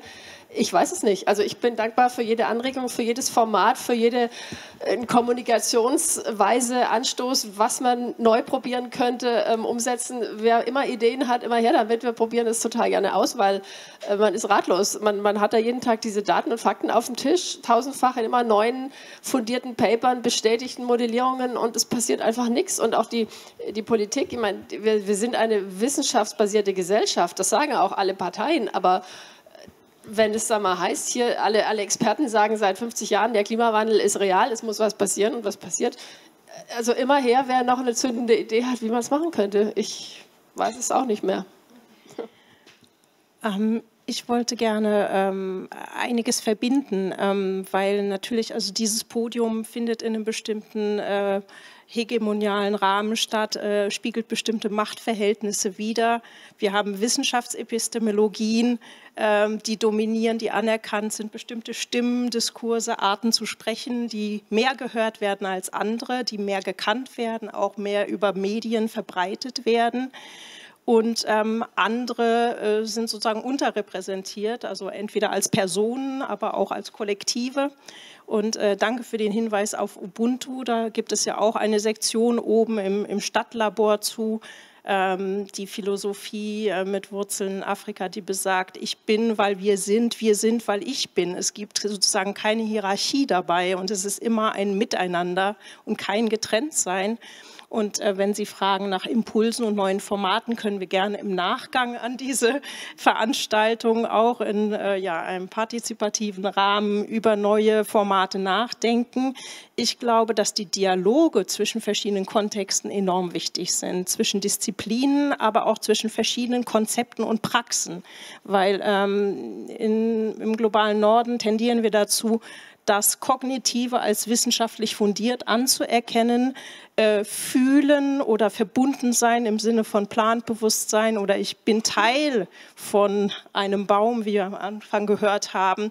Das, ist, ähm, das hat es hier auch gegeben, aber das ist sozusagen äh, vergessen oder auch durch andere Machtblöcke wie äh, äh, Religionen überdeckt worden. Und da sich miteinander in, äh, in Kontakt zu setzen, zu gucken, wo erinnern uns andere Praxen und Traditionen an das, was wir auch mal gekannt haben, aber vielleicht vergessen haben, ähm, das fände ich wahnsinnig spannend, auch verschiedene Bewegungen zu ähm, miteinander in Austausch zu bringen und zu gucken, was funktioniert bei euch oder wie habt ihr bestimmte äh, Rechte durchgesetzt, wo braucht es Zugang zu Politik, in dem äh, HüterInnen der Natur in die Politik hineingehen, wie es Indigene in Kanada tun und in Parlamenten sitzen und sagen, wir sind die Hüterinnen dieses Waldes und deswegen treten wir stellvertretend erst einmal für diese Rechte ein und zu gucken, wie wir das Puzzle gemeinsam zusammensetzen, fände ich enorm wichtig. Ja. Mit Mikro bitte. Äh, eine Frage an den Herrn Wäsche. Wenn wir jetzt äh, von ähm, dem westlichen Denken ausgehen hier bei uns, ja, ähm, und wie äh, können wir dann diese Gesetze der Natur ähm, überhaupt beim Gesetzgeber einbringen und durchbekommen, ja? Weil hier in unserer Geschichte war es ja so, dass der Mensch sich auszeichnet durch Bewusstsein gegenüber allen anderen Lebewesen und jetzt zum Beispiel Tierrechte sich entwickeln konnten, weil man sagt, die immer mehr Tiere, bei immer mehr Tieren wird Bewusstsein erkannt, ja? Dann konnte man jetzt auch Tierrechte ähm, gesetzlich verankern. Aber dieser Prozess ist ja viel zu langsam. Also wenn man sagt, gut, mit Wohlleben oder so gibt es auch äh, unter den Bäumen ähm, äh, äh, sensible Geflechte und auch eine Art Bewusstsein. Aber bis sich das ähm, durchsetzt, da ist dann vorher schon ein Großteil der Welt untergegangen, also der Natur, wie wir sie kennen. Aber wie bekommen wir Ihren Vorschlag in die, in die Gesetzgebung?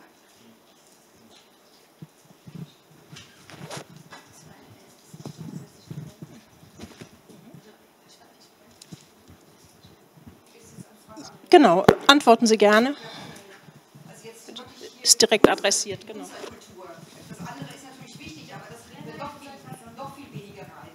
Ja. Gut, das, das Erste ist, äh, dass wir von den vielen Beispielen, insbesondere des globalen Südens, lernen und sie erstmal überhaupt zur Kenntnis nehmen, äh, dass, dass es eben eine Rechtspraxis ist, nicht eine Traumtänzerei. Die gibt es bereits, diese Rechte. Es gibt keinen Grund, äh, warum äh, nicht ein Ökosystemträgerin eines Rechtes sein. Es gibt diese, man nennt das in, in der juristischen Wissenschaft äh, eine Rechtsfiktion. Jede Person ist eine Rechtsfiktion. Ein Unternehmen ist eine Rechtsfiktion. Eine öffentliche Institution ist eine Rechtsfiktion. Warum kann nicht ein Wald eine Rechtsfiktion sein? Es gibt keinen Grund, warum das nicht möglich sein sollte. Die stellvertretende Rechtswahrnehmung, die vorhin erwähnt wurde, kennen wir aus, äh, äh, bei der Praxis de, des Kindeswohls zum Beispiel, dass wir stellvertretend für Kinder das Wohl äh, wahrnehmen. Selbst bei Tierschutzrechten wissen wir irgendwie, dass ein Huhn nicht irgendwie vor Gericht gehen kann, sondern dass das irgendwie Interessensvertreter machen müssen. Auch das ist kein Hindernis für die Rechte der Natur und sozusagen erstmal das öffentliche Bewusstsein dafür schärfen, da gibt es eine Rechtspraxis, die ist sowas von kompatibel mit unseren Rechtsordnungen. Wir müssen nicht etwas Neues erfinden.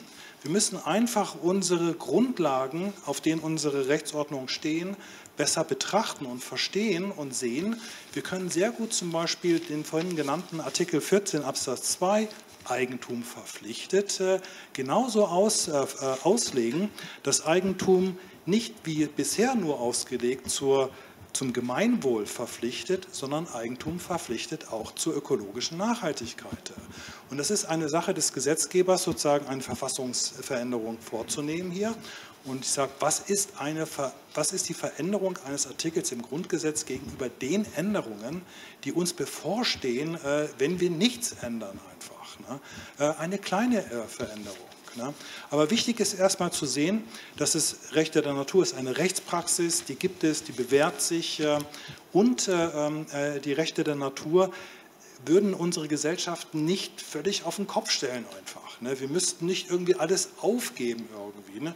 Wir müssen, wir brauchen einfach ein Eigentumsrecht, ein zeitgemäßes Eigentumsrecht für das Anthropozän.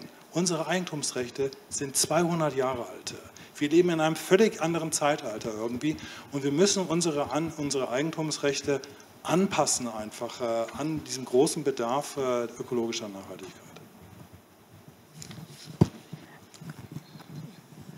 Es ist schön, dass jetzt mal wieder der Artikel 14 äh, zur Sprache gekommen ist und äh, der Absatz 2, dass das Eigentum verpflichtet. Äh, weil wir sind jetzt mal wieder weggekommen vom Recht und sind bei der Pflicht gelandet. Und das äh, vermisse ich äh, auch in der Debatte, weil es ist ganz selten hier von Pflichten die Rede gewesen. Dabei ist die Gesetzgebung ja eigentlich eine Geschichte, wo Rechte und Pflichten verhandelt werden. Und das beide sind eigentlich gleichwertig. Und äh, man könnte natürlich äh, sagen, das ist ein Perspektivwechsel. Also das Recht der Natur, was man ihr einräumen möchte, ist ja gleichzeitig die Pflicht dessen, der sie nutzt. Ja, insofern kann man auch sagen, man redet überhaupt nicht über die Natur, sondern man redet überhaupt generell erstmal über die Pflichten. Und wenn ich äh, gucke, bei äh, Artikel 14 kommt in Absatz 3, wenn ich mich recht erinnere, ist es dem Gesetzgeber freigestellt, diese Pflicht einzufordern. Deswegen kann man bei uns unheimlich schlecht klagen. Das heißt, wenn man sich die Mieterdebatten anguckt, äh, äh die Entwicklung auf dem Wohnungsmarkt, dann fällt es wahnsinnig schwer, diese Exzesse, die da stattfinden, irgendwie einzugrenzen in Form einer Klage. Man wird immer daran scheitern, dass, es, äh, dass diese Pflicht nicht einklagbar ist, diese soziale Bindung des Eigentums. Ja? Und insofern denke ich, sollte man vielleicht äh, das auch mal vielleicht mehr über die Pflichten machen. Und wenn ich noch weitergehe und sage, es geht ja nicht nur um die äh, beschriebenen Rechte, die in Gesetzbüchern stehen, sondern wenn ich jedwedes Vermögen als ein Recht auf die Nutzung von Ressourcen jedweder Art darstelle, da würde ich sagen, dass jedem Vermögen eine gleiche Menge an Pflichten gegenübersteht, sodass also große Vermögen in der Regel auch mit großen Pflichten verbunden sind. Und man könnte sich eigentlich alle Eigentumsdebatten sparen, wenn man diese Pflichtseite ernst nehmen würde und nicht diese, diese, dieser momentane Ansatz äh, dessen, dass man äh, die Gewinne halt äh, privatisiert und die Pflichten sozialisiert. Vorne war noch eine Meldung.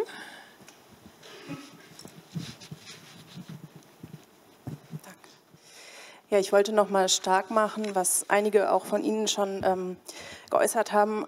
Meine Hoffnung oder äh, wie wir die Konflikte weiter lösen können, ist, dass ein Arbeiten in pädagogischen Kontexten und das Entwickeln von äh, anderen Vorstellungen und Werten, also dass wir ein Teil von der Natur sind und ein Denken und Leben in Verbindung und dass wir nur alle in Abhängigkeit voneinander äh, leben und glücklich sein können. Und das betrifft ja dann nicht nur die Rechte der Natur, genau, es betrifft die Rechte der Natur und deswegen auch unsere eigenen Rechte, weil ja nicht nur die Rechte der Natur nicht anerkannt werden, sondern auch von ganz vielen Menschen, was ja gerade auch schon ähm, geäußert wurde. Also Menschen werden ja auch auf der Welt ausgebeutet durch ein kapitalistisches Wachstumsdenken. Ähm, ja, und ich denke, dass es total wichtig ist, dass es eben Forschung gibt, irgendwie über Plant, also wie wir in Pflanzen, mit Pflanzen in Zusammenhang stehen oder über Ubuntu-Konzepte. Also dass wir einfach lernen und uns austauschen. Und da ist vor allem sind Schulen, Bildungseinrichtungen, Museen gefragt. Genau. Ja, vielen Dank für diesen, ähm, ja, diesen sehr schönen Abschluss. Ähm, wir hatten ja nach verschiedenen ähm, Impulsen gefragt. Ähm, unterschiedliche Perspektiven sind auf jeden Fall sichtbar geworden und ich glaube, es braucht viel mehr solcher Dialoge, auch Vermittlung von wissenschaftlichen Konzepten, von zivilgesellschaftlichen Praxen und äh, Foren, die mit unterschiedlichen Teilnehmenden zusammengestellt sind und vielleicht auch nicht, nicht mehr so mit Bühne und Publikum aufgeteilt sind, sondern auch andere Formen des Zusammenkommens, die äh, eine andere Ebene von Gesprächen auf Augenhöhe möglich machen. Ähm, wir hatten vorhin gehört, ähm, es gab die Frage, wie können wir weitergehen, wie ist solidarisches Handeln ähm, und Verbundensein möglich. Und ich wollte Thomas Gebauer gerne noch mal die Möglichkeit geben, zur Global Assembly zu sprechen. das ist ja sozusagen der Anlass, der uns alle hier hergeführt hat. Und äh, dort sind auf jeden Fall Utopien angedacht.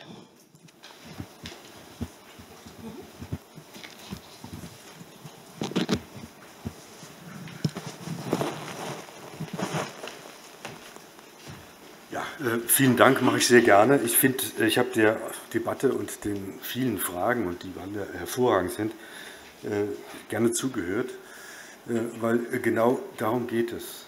Es geht darum, dass wir uns diesen komplexen und schwierigen Themen zuwenden und versuchen, sie zu ergründen. Und wir haben gerade an der Oberfläche gekratzt, habe ich den Eindruck heute, und müssen das unbedingt auch fortsetzen.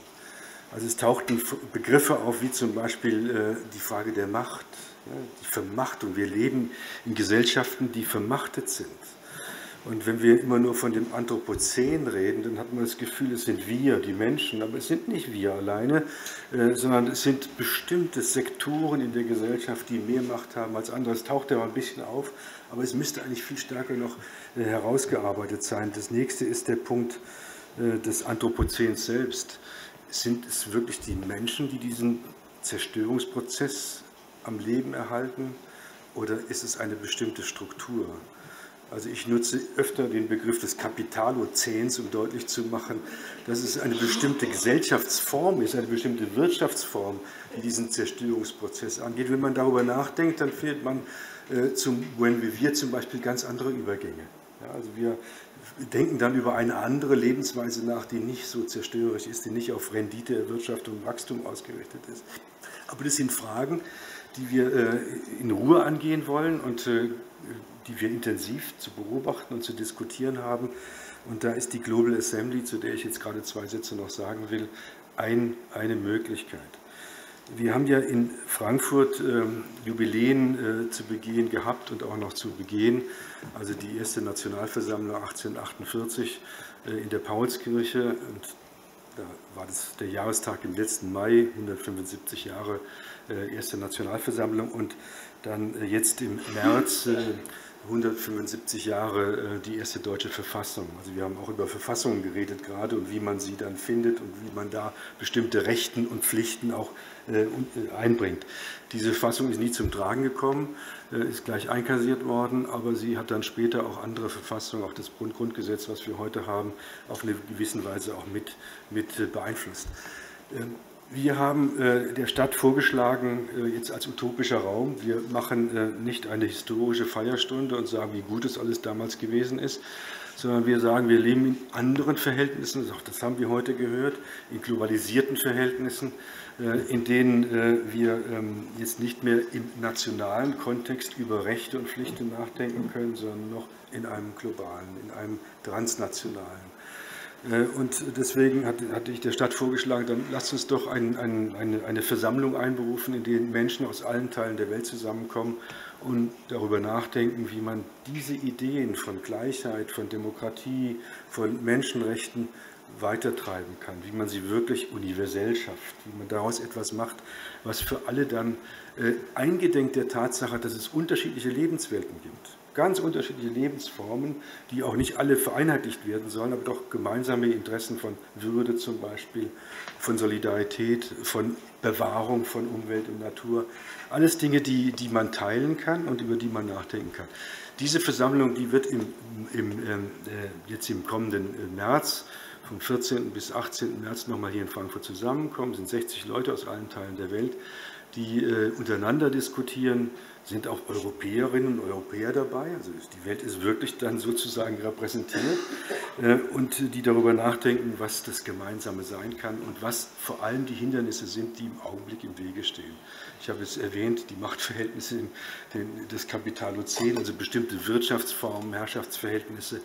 Und das ist etwas, was in allen äh, Diskussionen, die wir bislang schon hatten im globalen Kontext, immer wieder gesagt worden ist. Wir leben in Zeiten, die geprägt sind von zunehmenden Herrschaftsverhältnissen, von autoritären Formen von Herrschaften, äh, Herrschaftsverhältnissen und wo auch diese Konflikte, von denen ihr gerade gesprochen habt, heute immer machtvoller in eine Richtung aus, ausgehandelt werden. Nicht mehr ausgehandelt werden, sondern durchgesetzt werden. Und es immer komplizierter wird, für Menschen im Süden zum Beispiel für den Erhalt der Natur einzutreten oder für Menschenrechte und die ganz extrem und brutal verfolgt werden mit dem Leben bedroht werden, umgebracht werden. Und also wo diese, diese, diese, diese Konflikthaftigkeit zwischen, zwischen den Interessen auf eine ganz andere Weise ausgetragen wird, schon ausgetragen wird als hier. Wir erfahren das manchmal. Darüber wird diskutiert werden und wir werden viele öffentliche Veranstaltungen haben. Dazu gibt es eine kleine Information, die liegt auf Ihren äh, Stühlen. Wir werden äh, die einzelnen Veranstaltungen, die dann zu solchen Themen auch stattfinden wie hier, äh, nochmal eigenbewerben und wir werden auch eine weitere Veranstaltung, glaube ich, hier im äh, Historischen Museum haben, auch zu dem Thema, glaube ich, ökologischer Krise und wie es dann äh, weitergetrieben werden kann. Also mit anderen Worten, das sind Prozesse, die, die wir diskutieren müssen und wenn wir die von unten her, also von den zivilgesellschaftlichen Akteuren, und das ist auch heute gesagt worden, alle Bewegungen sind nur zustande gekommen durch den Widerspruch aus der Zivilgesellschaft selbst. Nur aus diesem Grund äh, äh, wird sich etwas verändern. Wenn wir das äh, wirklich ernst nehmen, dann werden wir von dort aus gemeinsam im Gespräch sein können und äh, etwas verändern wollen. Das wollte ich nur sagen zu dem Stichwort äh, äh, Global Assembly. Wenn Sie dazu weitere Informationen wollen, sind da Adressen angegeben und wir werden auch noch intensiv informieren, wie es weitergeht. Ich möchte mir aber jetzt doch noch auch bedanken bei euch, wenn ich das gerade sagen darf an der Stelle. Ich weiß nicht, wie, wie lange ihr noch tagen wollt, aber diesen Dank muss ich erstmal loswerden, weil ihr einen wichtigen äh, Impuls setzt für, für diese Debatten, die dann auch bei uns geführt werden. Ja? Weil das, was, was wir hier denken, was wir miteinander im Gespräch haben, ist die Grundlage auch dessen, was dann diskutiert wird. Also wir schaffen Diskursräume, wo wir ein bisschen weiterkommen und wo wir Ideen aufgreifen.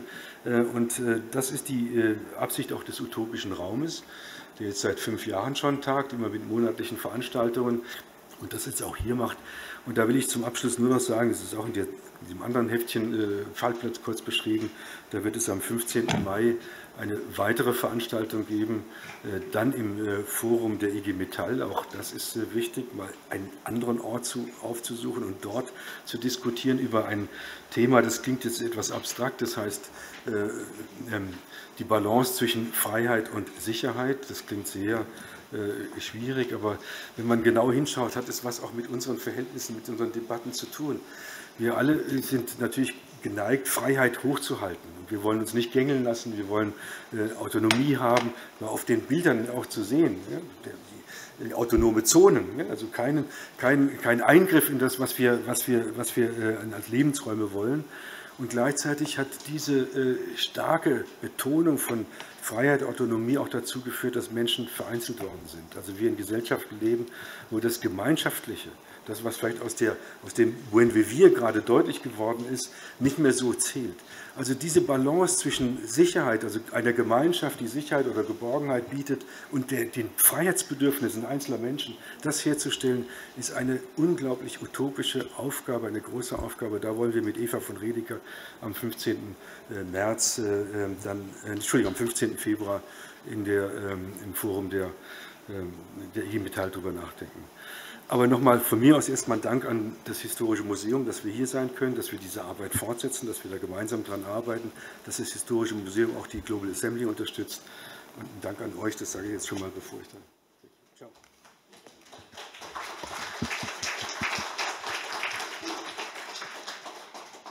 Ja, ich möchte mich auch bedanken ganz herzlich äh, den Mitdiskutantinnen, Ihnen als äh, Publikum, aber auch Mitdiskutantinnen in erster Linie, ähm, den Mitplanenden und äh, der Gastgeberin.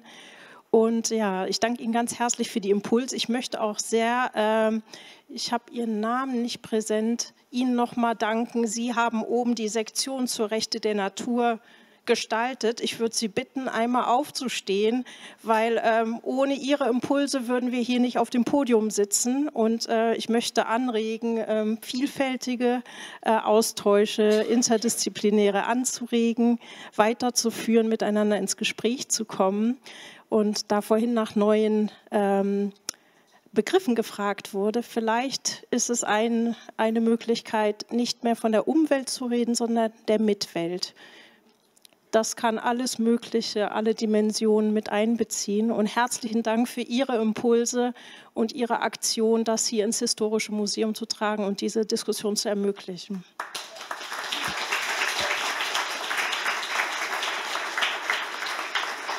Möchten Sie Ihren Namen noch mal sagen für diejenigen, die das vertiefen wollen, Ihr Wissen dazu?